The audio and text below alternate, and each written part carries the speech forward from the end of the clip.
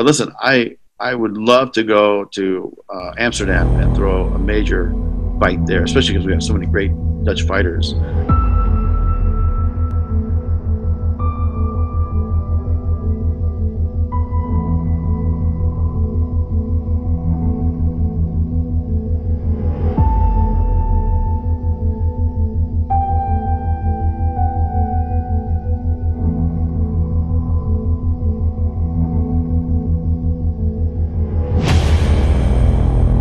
Especially because we have so many great Dutch fighters, and there's such a history of great combat sports fighters uh, in uh, in Holland and in, in uh, Amsterdam. So to me, we got to go there.